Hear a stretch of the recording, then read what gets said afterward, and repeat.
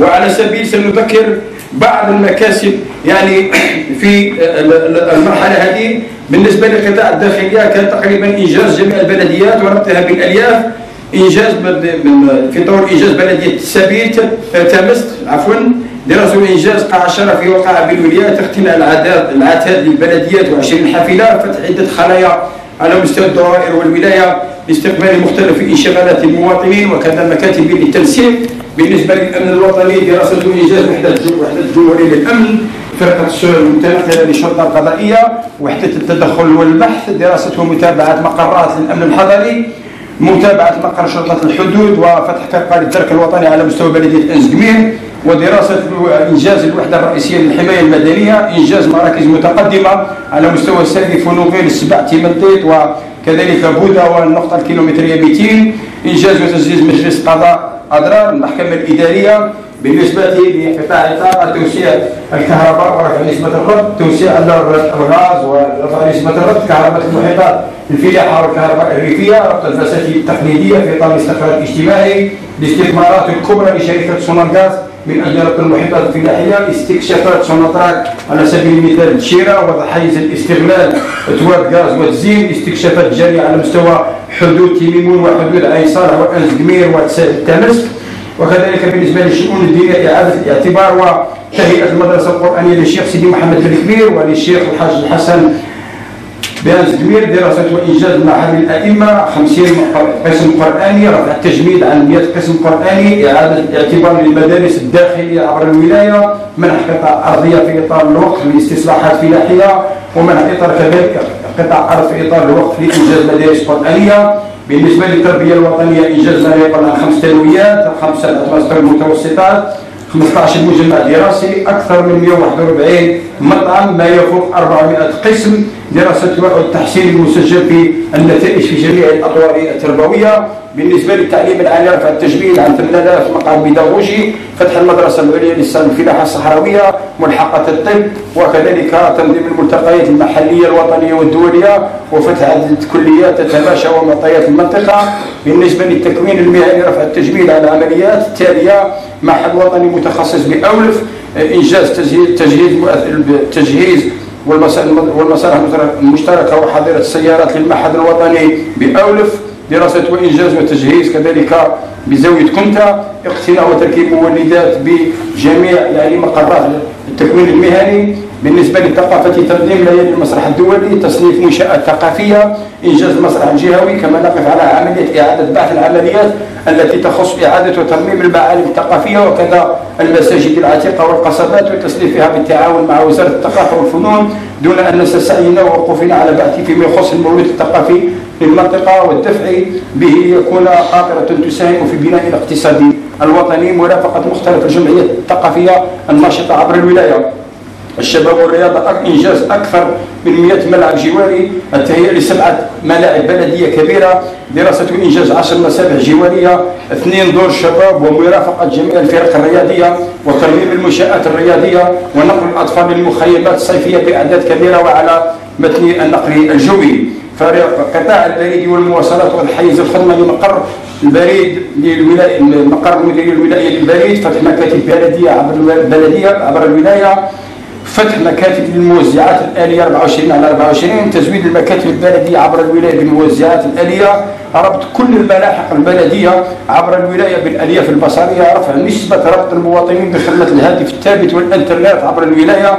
تحسين الخدمة العمومية من خلال عملية نشر شبكات الألياف البصرية عبر كافة أحياء وقصور بلدية الولاية فيما يخص خدمة الألياف FTTH قطاع تضامن الأسرة دراسة وإنجاز مراكز مركز إيواء للأشخاص بدون مأوى دراسة وإنجاز قاعة نشاطات عبر كامل بلدية الولاية إنشاء محيط فلاحي لذوي الهمم دراسة وإنجاز مركز الأطفال المعاقين بصريا برودان واستحداث خليتين جواريتين. بالنسبة لقطاع الصناعة تسجيل 483 مشروع استثماري بمساحة تقدر ب 800 هكتار في جميع المجالات دخول 29 مشروع استثماري حيز الخدمة 15 خدمات وخمسة صحية وستة صناعية وثلاثة صناعية غذائية ومذبحين صناعيين ومصنع للحليب وكذلك تطهير وضعية العقار الصناعي بمجموع 318 مشروع بمساحة تقدر ب 456 هكتار. يتوقع دخول 18 مشروع استثماري حيز الخدمة خلال السداس الثاني من سنة 2024 منها أربعة خدماتي وخمسة صحي وتسعة صناعي. منح 18 رخصة استغلال منها تسعة استثنائية وتسعة نهائية. رفع القيود عن 86 مشروع استثماري وتهيئة المنطقة الصناعية وإنشاء وإنشاء مناطق نشاطات ثانوية بالنسبة لقطاع الفلاحة الرفع من المساحة الإجمالية الصالحة للزراعة من 600 ألف هكتار إلى مليون هكتار تطوير المحيطات من طرف المستثمرين المحليين ومن خارج الولاية للرفع من المحاصيل السنوية. الرفع من إنتاج الحبوب من 13 ألف قنطار إلى أكثر من مليون قنطار هذا الموسم. توقيع اتفاقية شراكة جزائرية قطرية تاريخية تسجل للسيد رئيس الجمهورية في مشروع تجفيف الحليب والتزويد باللحوم الحمراء ورفع عدد القطيع. على مساحة تقدر بأكثر من 120 ألف هكتار وبمبلغ يقدر ب 3.6 مليار دولار وفي انتظار استثمارات أجنبية أخرى سنعلن عنها في وقتها. إنشاء محيطات فلاحية كبرى لفائدة مؤسسات أبروديف وكوسيدار والسنطرات وكذا منح محيطات عن طريق ديوان الزراعة الصحراوية أو الديوان الوطني للأراضي الصحراوية. منها شراكة الجزائرية التركية دونيسر من أجل المساعدة في بلوغ الأهداف المسطرة لا سيما في الزراعة الاستراتيجية وتحقيق الاكتفاء. الرفع من قدرات التخزين بتسجيل مشاريع هامة منها سمعتين لتخزين 1.1 مليون طن وإنجاز 11 مركز بمثلا ب 55 ألف طن ومركز كذلك تخزين الحبوب التابع للديوان الوطني لتغذية الأنعام ب 115 ألف طن وإنجاز مركز تخزين الحبوب التابع للشركة الجزائرية التركية ب 30 ألف طن أي يعطي معدل 3.15 مليون قنطار تخزين. توزيع قطع أراضي في تلحيز على ملكية مع إنشاء مؤسسات مصغرة. وكذلك إمضاء أكثر من 1200 قرار في الفلاحة بين رخصة تجزئة ورخصة منح إلى غير ذلك. بالنسبة لقطاع السكن استفادت الولاية من برنامج قدر بأكثر من 25 ألف سكن بمختلف السياق بما فيها رفع التجميد عن 2000 سكن تابعة لسيد مدير سكن رفع التجزئات الاجتماعية والريفية بمختلف الشبكات عن مشاريع التحسين الحضاري عبر الولاية والتحسين ومشاريع بلدية أضرار خاصة وتطوير نسبة شغل السكن حيث كانت 6.11 إلى 3.57 سنة 2023 بالنسبة لقطاع التجارة إنجاز الأسواق الجوارية والأسواق البلدية تجارة المقايضة مع دول الجوار. نقل ما يفوق 3300 طن من اللحوم الموجهة نحو مختلف الولايات الشمالية. استقبال ما يفوق 392 ألف رأس من مختلف أصناف الماشية من ولاية برج باجي مختار. الحرص على توفير جميع السلع الأساسية والمواد الغذائية الواسعة الاستهلاك خلال كل كل هذه المرحلة في مختلف المناسبات الدينية والوطنية. قطاع الأشغال العمومية عصرا الطريق الوطني رقم 6 في شق شق شقه الرابط. بين ركان وبرج باجي مختار إعادة الاعتبار لبعض الأجزاء المتدهورة في الطريق الوطني رقم 6 عصرنة الطريق بين أضرار أولف إعادة الاعتبار للطريق الوطني رقم 250 الرابط بين أولف عين صالح صيانة بعض المقاطع المتدهورة أولف أقبلي إنجاز مداخل القصور المسالك الفلاحية. فك العزلة على بعض القصور. تسبوت الناس أقبلي تيت إلى غير ذلك. والانطلاق في عملية التحسين عن طريق الأشغال العمومية. بالنسبة لقطاع الري إنجاز مشروع إبعاد المصب الرئيسي بقصر بوزان. إنجاز محطة تصفية المياه المستعملة ببوزان. إنجاز شبكة الصرف الصحي لأكثر من 56 قصر بمبلغ 500 مليار.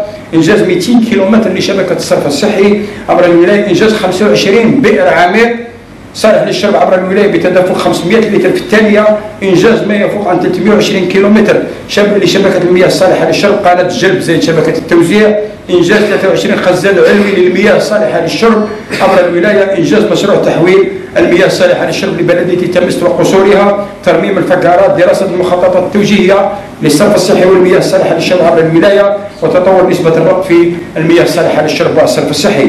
قطاع النقل فتح خطوط جوية وبرية جديدة وزيادة عدد الرحلات الجوية بالنسبة لقطاع السياحة والصناعة التقليدية إعادة الاعتبار للمواقع السياحية كدمسخ وتيمنطيط وتيط وأدمر مغارة تيلولين مسجد حماد إلى غير ذلك.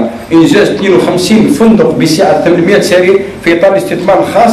أما فيما يخص عملية التهيئة العمرانية والحضرية ونظافة البيئة والمحيط عرفت الولاية إنجاز العمليات التي سمحت باسترجاع مكانة الولاية في القطاع السياحي تم إعادة بعض استحباق المهارة بمطريون ببلدية مقطن وبعض السياحة على مستوى الساقية بولاد سيدي وعلي بلدية تيمنطيط والتي أصبحت متنفسة للمواطنين مع قربها من مقر الولاية وكذلك عربودة وعربودة والتي تعتبر مقصدا كذلك لكل ساكنة الولاية. إضافة إلى تهيئة المساحات الخضراء مع المتابعة المستمرة للإنارة العمومية وحملات النظافة العمومية. مرافقة مختلف الجمعيات وحرف الصناعات التقليدية الناشطة عبر الولاية. بالنسبة لقطاع الصحة مجابهة فيروس كورونا تسجيل معهد وطني للقابلات تسجيل مركز مكافحة السرطان وتجهيز ووضع حيز الاستقلال 240 سرير تهيئة مستشفى بن سينا 14 عيادة متعددة الخدمات دراسة وإنجاز 18 قاعة علاج عبر الولاية إعادة الترميم لأكثر من 60 قاعة علاج تجديد العتاد الصحي واختلاء سيارة الإسعاف. فتح مختلف المداومات عبر البلديات استقبال الأطباء الأخصائيين فتح جناح جراحة العيون بمستشفى 120 ورفع التجميد على المستشفى 120 سرير بركان قطاع التشغيل عدد المدمجين في طال مرسول 336 19 وصل إلى أكثر من 6100 عدد المستفيدين من تحويل عقود محددة إلى عقود في طال مرسول وصل إلى 3600 مستفيد. عدد المستفيدين من منحة البطاله 21040 وطلبات العمل المسجلة هي 39 ألف طلب يقابل 3871 منصب عمل إضافة إلى 259 منصب في شركة سوناترا خلال سنة 23 24 قطاع البيئة وإنجاز المربعات قد فتح مديرية جهوية للصيد البحري على مستوى الولاية وبالنسبه لقطاع البيئه إنجاز المربعات الخضراء عبر الولاية وإنجاز نوادي بيئية عبر المؤسسات التربويه بالنسبة لقطاع الصيد البحري فتح مديرية جهوية للصيد البحري على مستوى الولاية واستحداث مناطق النشاطات الخاصة بتربية المائيات مختلف تم فتح مديرية جهوية لشركة سوناتراك مديرية جهوية للخدمات الاجتماعية فرع جهوي للبنك الوطني على مستوى الولاية فرع البنك الجزائري الخارجي على مستوى الولاية. الإعلان عن فتح أول وكالة جهوية للصندوق الجزائري للمؤسسات الناشئة تحت وصايه وزارة الاقتصاد والمعرفه والمؤسسات الناشئة والمصغره هذه يعني بعض بعض الإنجازات نتاع المرحلة الماضية. ومن جهة أخرى لابد أن نؤكد على ضرورة مضاعفة الجهود والحرص على مواصلة المسار التنموي الذي بدأنا وضع العالم به وانطلقنا فيه سويا الأمر الذي يجعلني حريصا. كل الحرص على الوقوف على مدى تقدمه واستكماله على الوجه الصحيح. كما لا يفوتني أن أثني وأتقدم بالشكر لمنتسبي قطاع الإعلام بالولاية. بكل مكوناته الذين بذلوا ويبذلون جهودهم بسخاء وتجند منقطع النظر للارتقاء بالولاية ودعم التنمية ومن حصولة لائقة بولاية أضرار عاصمة الجنوب الجزائري وبلد العلم والعلماء مدينة العلامة الشيخ سيدي محمد بن كبير رحمه الله وطيب ثراه وأخيرا وليس آخرا لابد أن نعتقد بضرورة ربط الشباب بالحياة السياسية من خلال إعادة الثقة وبعث روح المشاركة لديهم. وتبني ثقافة المشاركة السياسية من خلال التركيز على مؤسسات التنشئة السياسية المختلفة وهذا ما تم تسجيله على مستوى ولايتنا من خلال المبادرة على تربية النشء وخلق نوادي ونشاطات نذكر منها الحافظ الصغير والصحفي الصغير والخطيب الصغير والمنشد الصغير والمزارع الصغير والمسعف الصغير والحرفي الصغير. ونحن بصدد التفكير في إنشاء نادي المبرمج والمبتكر الصغير وهذا كله في سبيل نشر الثقافة السياسية السليمة في أوساط بناتنا وأبنائنا. ولا يفوتني أن أهنئ جميع ممثلي الولاية في المحافل الوطنية والدولية والمتحصلين على الجوائز سواء جائزة السيد رئيس الجمهورية أو جوائز دولية. وفي جميع المجالات في الثقافة الكتابة الصناعة التقليدية المسرح الإنشاء إلى آخره والذين تم إحصائهم جميعا من أجل وضع برنامج للمرافقة والدعم لكل حسب تخصصه. وفي الأخير أجدد تشكراتي لكل الحضور. راجيا من الله تعالى التوفيق في الأقوال والسداد في الأفعال. آمنين مزيدا من التطور والنجاح وتحقيق الرقي والازدهار لهذا الوطن الأبي. داعي المولى عز وجل أن يديم علينا نعم الأمن والأمان. ويحفظ بلدنا المفدى أشكركم على كرم الإصغاء. تحية الجزائر المجد والخلود لشهدائنا الأبرار. عاشت الجزائر حرية حرة أبية آمنة شامخة. والسلام عليكم ورحمة الله تعالى وبركاته.